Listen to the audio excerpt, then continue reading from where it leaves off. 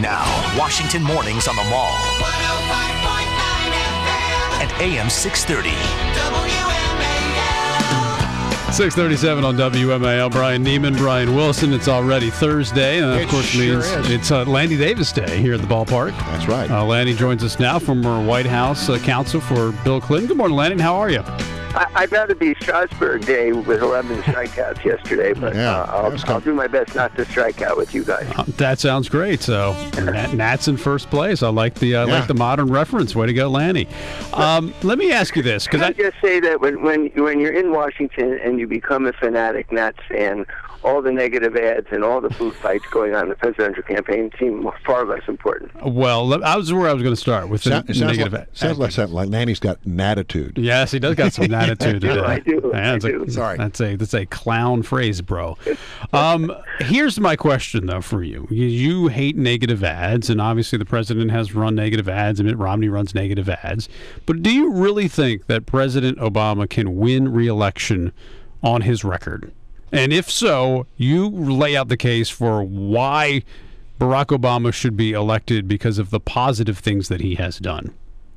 Yeah, uh, first of all, I don't think there's any choice. I ultimately think, and the, the, the polls are showing, that when you go negative and you sound negative and you seem nasty, you're depleting the greatest asset that Barack Obama has, that probably even you all would agree with, is that he has up to now come across as a nice guy. And even people who disagree with him politically in polls give him high personal favorable ratings, just as George Bush had personal favorable ratings much higher than John Kerry, because George Bush was and is a nice guy.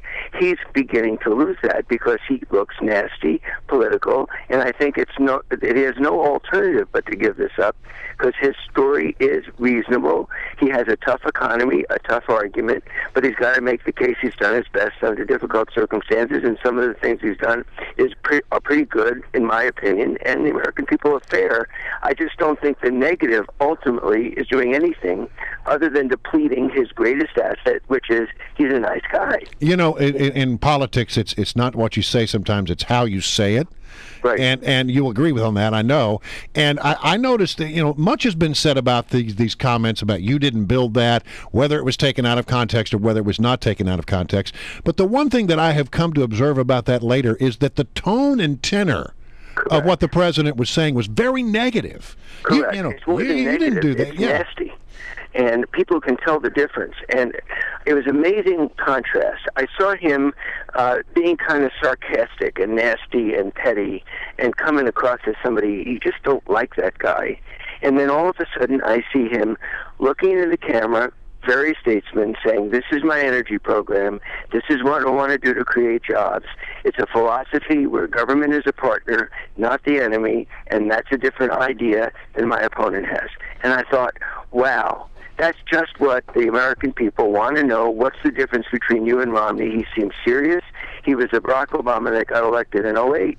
Somehow David Axelrod thinks that that great asset, where he's so good on TV, into the camera, he's depleting by making him into a nasty politician. And that's what I write in today's uh, Purple Nation column, if you don't mind me shamelessly plugging my column, that there are a lot of people right after the horrible tragedy of Aurora who saw these two men, and I'm not a great fan of Mitt Romney's, really impressing me as statesmen, as uplifting, as bringing us together. And then within 48 hours, I saw the slop, and that's a nice word to say on radio, of these two uh, negative food fight ads going on all over again. But politics is hardball to go back to our opening comments and you know that's how you win elections and for i I just don't see how barack obama can run a, campaign that solely touts his record because people look at it and they say the unemployment rate's up the economy's not in good shape. People don't think he's right for pushing the economy forward. They think mitt romney is better. And even his signature domestic policy which is the health care law most americans don't like it and uh, they would like to see it go. So uh, now I'll grant you that on, on on national security issues, he probably has probably has support behind him. All that, although I think in the long run, what we've done isn't going to help us. But w- I, just explain to me what you want him to run on. All right, well, this is a reasonable tactical debate. I've been in uh, political campaigns most of my adult life, and every presidential campaign but this one. The, the difference in the debate of tacticians is if you have a difficult hand when you're dealt, a number of issues that are negative, which Barack Obama has to deal with, and that's the economy. Do you try to change the, stub- uh, the, the subject and assume everybody is stupid and they're not going to remember the stuff in your record that bothers them because you're attacking the other guy? And there are some people who say, yes, that's what you do. Or do you do a better job of explaining the negatives and emphasizing the positives. In other words, you assume people are intelligent. They want an explanation why the economy is bad. What have you done that hasn't worked? What are you going to do in the future that might work? And compare it to the other guy. I'm a believer, especially if you've got a great asset where you're likable, which Barack Obama had up to this point, and you see his negatives have gone way up as being not likable because of these ads. I'm a believer in you've got to contrast yourself with the other guy. If that's negative, you do it on the issues. You don't do it personal. Right. But you tell your story much better. On health care, by the way, the polls are split right now dead heat between those who like the health care law and those who don't. And this is, remember, after Barack Obama has never explained this health care bill effectively. I want to ask you about another topic, and that is uh, a negative that the Obama administration is going to have to deal with is the issue of these national security leaks. Now, I think you will agree with me, Lanny, that Dianne Feinstein is a serious and sober politician. She is the uh, Democratic chair of the Senate Intelligence Committee, and she said the other day that she felt that the president needs to be aware of the fact that some of these national security leaks are coming from within White House ranks. And yet, uh, David Axelrod is insisting that is not the case. What do you think this?